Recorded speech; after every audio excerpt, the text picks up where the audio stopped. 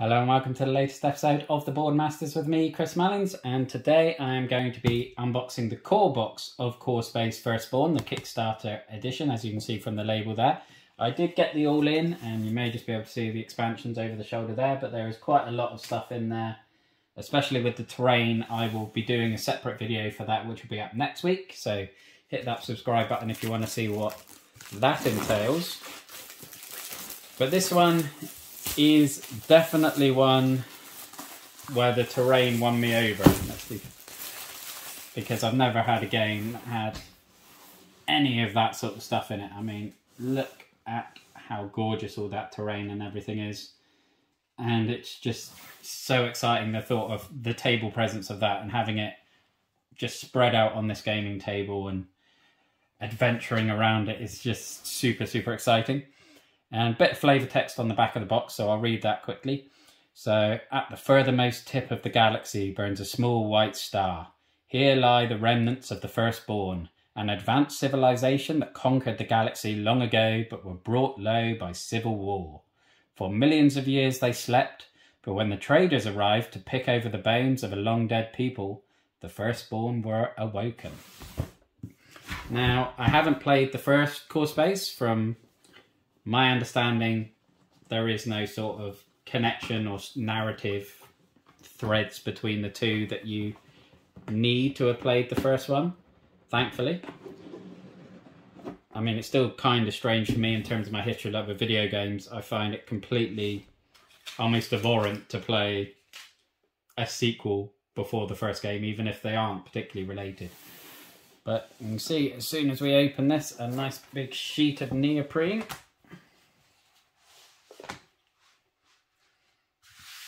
Okay, that is looking pretty cool. Very sci-fi artwork. Interesting. Oh, we do have a measuring stick. Which surprised me. I think that may be an optional rule because I I thought the grid on the map was the, the normal movement system and, and it was like a traditional grid-based movement. But perhaps they have this measuring stick as an optional alternative way of playing the game which doesn't bother me quite so much because obviously we got counter attack to the table for the first time last week, and that has a measuring stick in it. So I have got a little bit of experience with a measuring stick now. We got a little tiny felt bag, which is always cool. Not the most impressive that I've had, but it's not all about the size after all. Uh, just does that fold open or no? Okay. Be interesting to see what that is about because that's just plain white and there's another longer just plain white piece there. A couple of spare bags, always appreciated as long as they're not over the top. Uh, just got some sort of plastic sheet.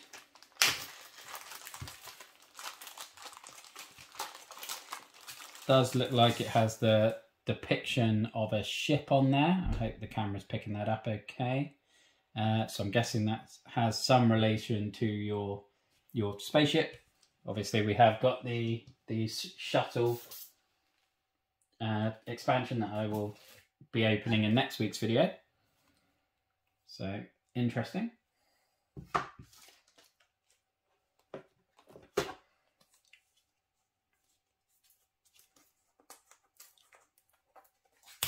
What do we have here? A variety of different ship layouts by the look of it. Double-sided, different each side, with different layouts. I mean, one of them's got a medical lounge there. Seems to be the exception. I don't see too many other with rooms, but obviously lots of different things going on there, which are probably going to be linked to this. Maybe you'll overlay it and that will give you your, your ship layout. Maybe there, I know it's about scavenging and things, so maybe you have limited space and the ship layout is what you can fill up. We've got the core space sci-fi miniatures game utility dashboards uh, mini expansion, which I think is one of the ones there. I know that's the enhanced ship dashboards. They're, by the look of them, sort of more along this line of sort of plastic trays to help keep things organized and things. So I'm probably not going to showcase those, but obviously we will be using them when we do a playthrough on the channel. I believe that will be me and Chris Brown, hopefully quite soon. Ships of disres disrepute. Oh, yep, so that is an enhanced ship dashboard, and those are ship cards. So, I guess it just gives you a lot more to familiarize and customize your own ship and upgrade your ship. Which I didn't realize was a part of the game, to be honest. As always, I didn't go, I don't go too obsessive into the detail of the campaigns. If it looks interesting and people seem keen on the gameplay, and the first one was pretty well rated on BGG, then I'm more than happy to back it. Got the In the Line of Fire mini expansion as well. Again, I think this is going to be a game where we have a bit of a campaign on the channel, so I'll try and get at least one video on each different set of terrain just to show it off, and we'll try and get through all of these uh, expansions because the Fury the Insane God, obviously, that miniature is going to be massive and be so cool to showcase that striding around this map. And yeah, they just look very cool. Uh, the core space rulebook. We run in, we grab as much loot as we can, and we run out. If we're lucky, we won't have to fire a single shot. That's always the aim, but I'm not sure there's going to be too much or too many missions where that happens. Yep, so another glimpse of that, those beautiful terrain pieces. Can't wait to get into those. Uh, range rulers. Core space involves a wide variety of guns and other ranged weapons. It's therefore important to determine whether characters can see and shoot each other. Okay, so they they are for line of sight in the range as opposed to necessarily the movement, which I'm quite happy with that. And then you've got all the sort of standard things you would probably expect in terms of exploring and fighting, and then firstborn stage. Okay, so there's a shorter range ruler for shorter range weapons and then a longer range one. Cool, you've got misfires, drones, skills. So, so much going on. Oh, that is a, a sizable rule book. Uh, it's almost like some of the graphic novels I've got uh, on the shelves over there. Wow. Okay. I mean, it's certainly an impressive document and it looks pretty well laid out. The artwork is gorgeous. Hopefully it does follow pretty logically when you're actually working your way through it because I know we're currently doing a campaign of Nemesis or probably by the time this goes up we'll have finished that actually. And as much as I adore the game and I really, really do, the rule book it's just so illogical. the amount of times you're you're sort of jumping from one page to the next trying to find something the thing that's relevant to you and it doesn't seem to be along with the other things that you would think it would be with uh, so hopefully this won't have those problems ah, but the, i mean the pictures and everything look absolutely gorgeous in that there is so many different missions and epilogues i think i saw mission nine, was that? Yeah, mission briefing nine. So presumably there are, are the nine missions in there plus the other expansions. What do we have in here? I think this might be our super impressive Fury of the Insane God miniature in here.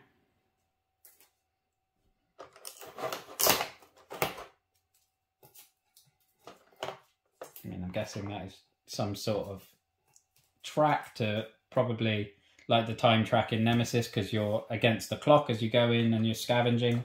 So I would guess that's to do with that. And these are probably your player dashboards where you will fit your character into there. And then, yeah. That is an impressive beast. when he's going to be stepping over a lot of the terrain, I think he looks incredibly cool. Um, see if I can station him up there. Just some stands by the look of it. Lots more, lots more of those. Some event cards. Uh, as you'll notice, I don't seem to have my trusty knife to hand. I'm not sure where that has gone.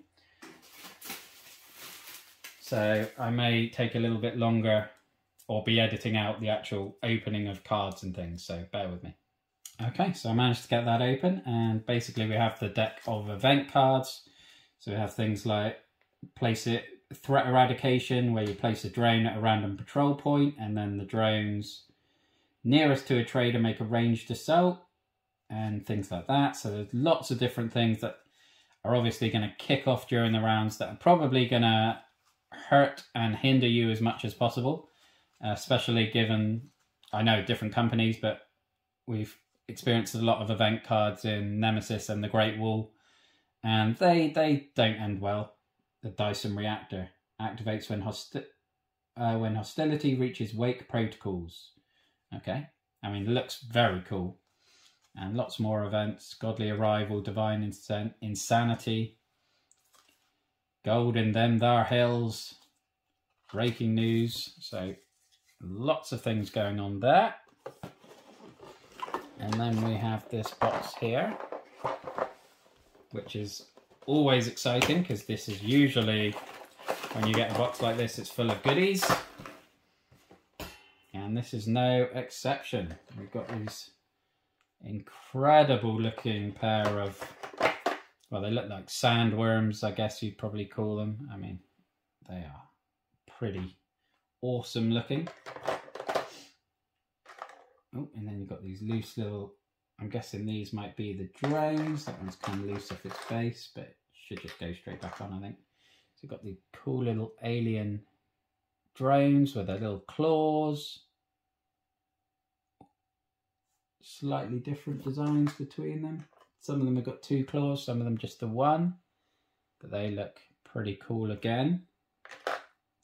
Variety of minis were for all the, I think these green ones based on the big boy to my left are going to be the the insane god aliens and again these look really really cool lots of details particularly on the clothing don't know if we can pick that up on there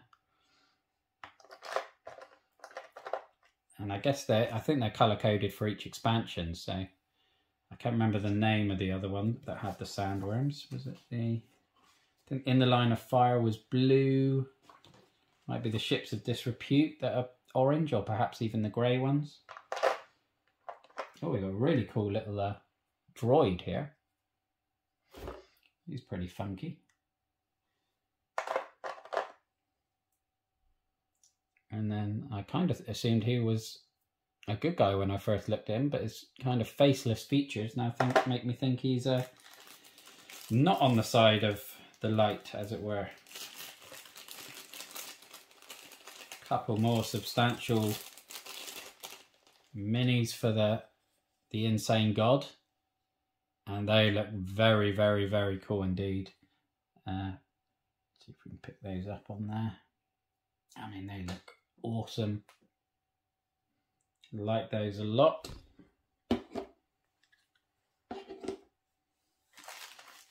just color coded, got some dice, got some more drones. Plastic trackers. Let's have a look at the blue minis. These are the I've forgotten the name of the expansion already. The In the Line of Fire, that's it. Oh,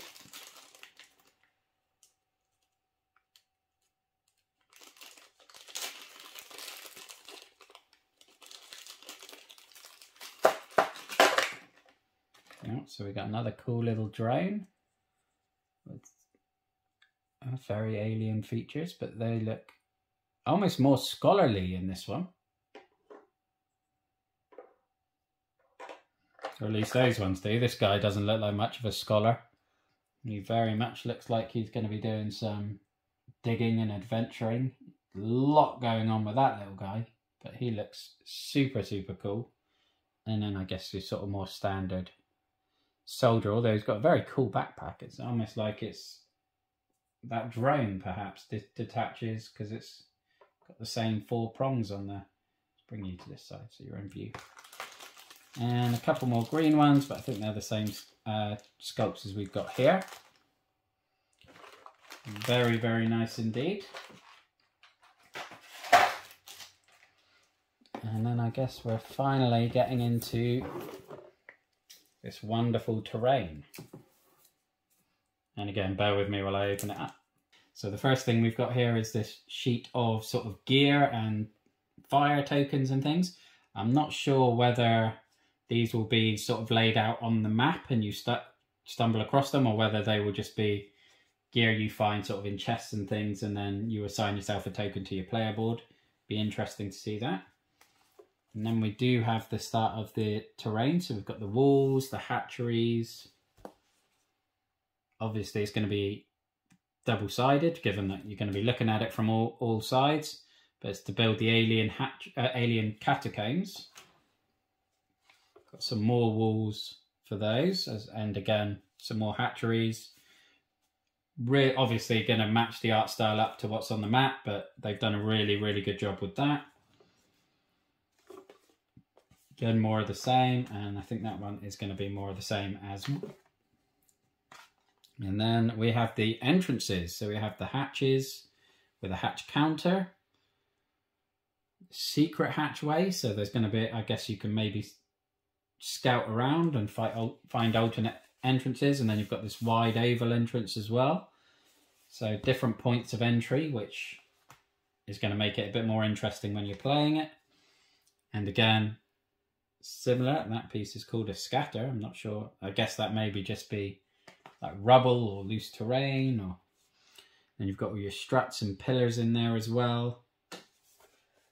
I mean, obviously it doesn't look too spectacular in the punch boards, but I cannot wait to get this on the table. And I think when the when the videos go up with the gameplay, it's going to look absolutely spectacular. Got the alien catacombs. So got this funky long green, what these stasis pods. Uh, so I think you have to actually, once you punched it, you wrap it. Got exhaust vents, so they're going to be some hazards by the look of it with the fire bursting out. And yep, so these stasis pods are here, so I'm guessing these sort of wrap around on these. And then we've got more of the same. So again, just looks absolutely gorgeous. And a third one of the stasis pods huge amounts of equipment and things going on here.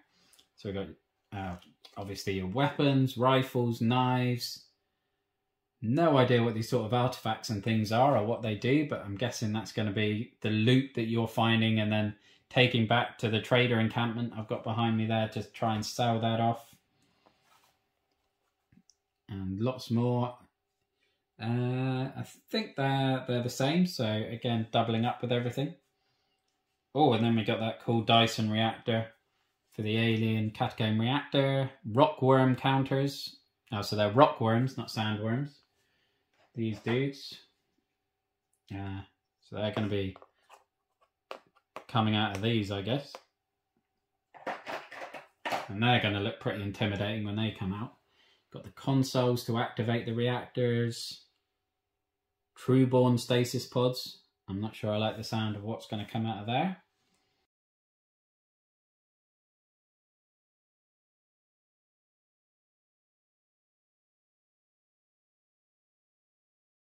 Do we have here?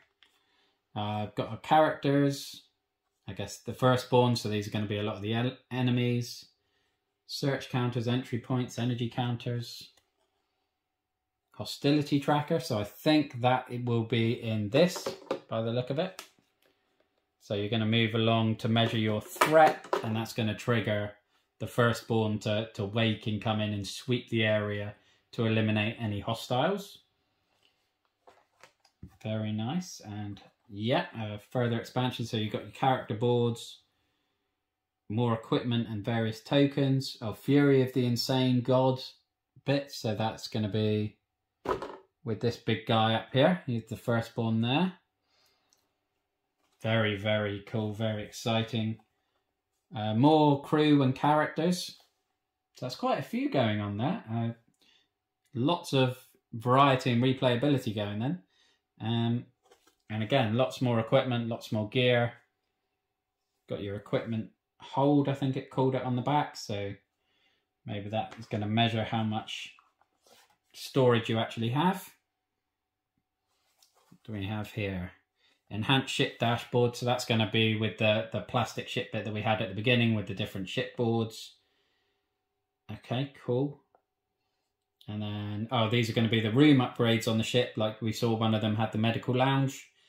This is going to be the tokens where you can customize and upgrade your ship and just pimp it out a bit, I guess. Never thought I'd use that phrase on the channel.